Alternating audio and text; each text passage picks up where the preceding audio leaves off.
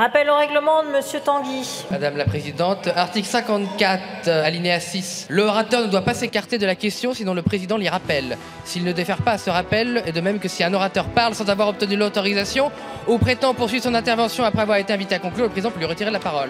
Article 58, alinéa 2. Tout rappel au règlement doit se fonder sur un article au règlement autre que le présent article. Article 58, alinéa 3. Lorsque manifestement, manifestement, manifestement, son intervention n'a aucun, aucun, aucun rapport avec le règlement ou un fait personnel, ou si elle tend à remettre en question l'ordre du jour fixé, ou si un précédent rappel au règlement avait le même objet, le président lui retire la parole. Voilà, madame la présidente, vous m'avez. Alors, monsieur, monsieur Tanguy, je vais vous retirer la parole au titre de ce même article 54. Si